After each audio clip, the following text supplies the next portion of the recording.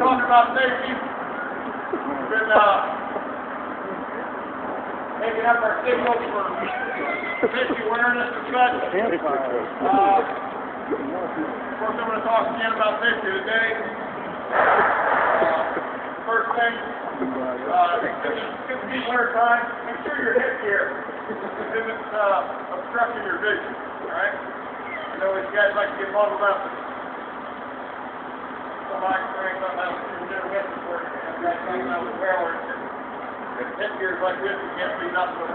That's a big signal. What's the sign for that?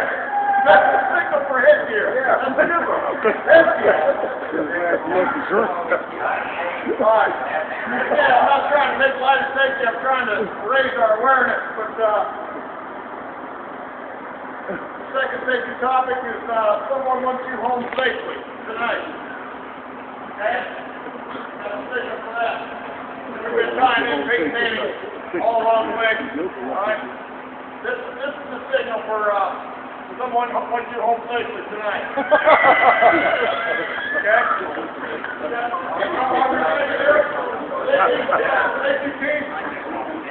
All right, here we go. Get ready, open your eyes.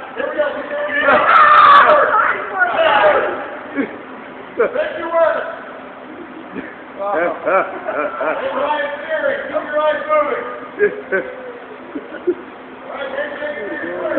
Keep yourself out. Raise your belly, ladies.